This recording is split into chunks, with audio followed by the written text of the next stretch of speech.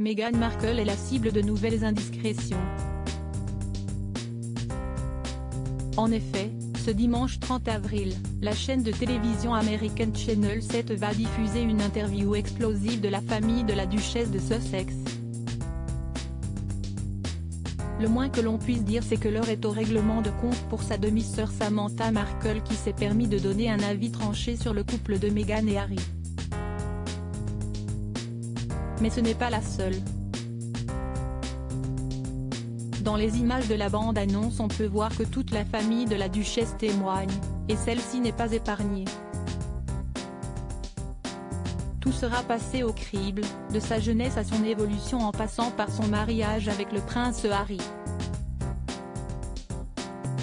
Et le journaliste de cette news a décidé de révéler une photo inédite de Meghan Markle. Dans un tweet publié ce vendredi 28 avril, Taylor Auerbach a publié une photo de Meghan Markle.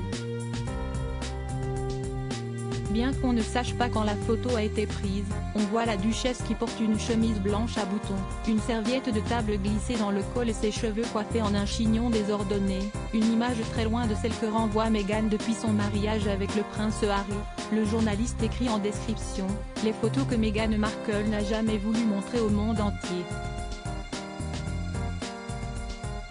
Il semblerait donc que cette photo ne soit qu'un avant-goût de ce qu'on pourra voir lors de l'émission de ce dimanche 30 avril. Supérieur à supérieur à supérieur à Kate Middleton, Meghan Markle, Prince Harry, découvrez leur évolution physique ils sont malsains l'un pour l'autre. Si est une relation toxique ainsi, Channel 7 annonce de grandes révélations concernant la duchesse de Sussex. Dans la bande-annonce, on voit la demi-sœur de celle-ci dire « Elle serait encore serveuse si ce n'était pas pour papa ».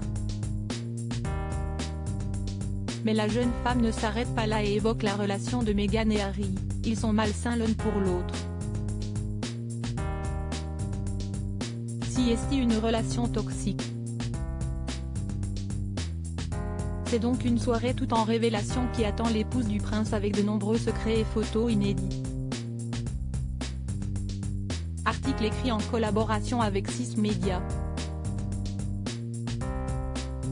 Crédit photo, Bac Grid UK.